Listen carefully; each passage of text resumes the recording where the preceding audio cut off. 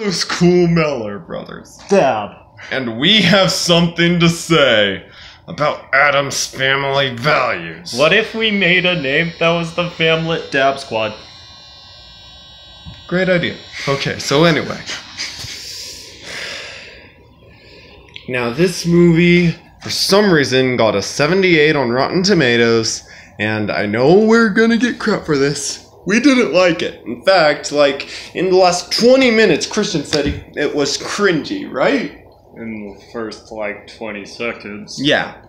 So, But yeah. I didn't pay attention most of it. And so also-. And also, they kept s- switching tones. Like, it kept going from creepy, more Addams Family like to all happy and fun. And the worst part is, and this is where I turned off the TV. Someone complains about my Disney.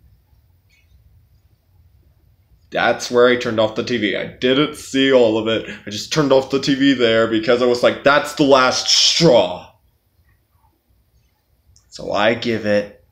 Christian, what do you give the parts you were paying attention to and parts you didn't see? It wasn't really enough, so. Oh. I give it a what were they thinking? I would give it a. You should have just listened to the rest of the review, and then you should know what we think of it. Yeah. Out of 12. I don't know. The brothers out.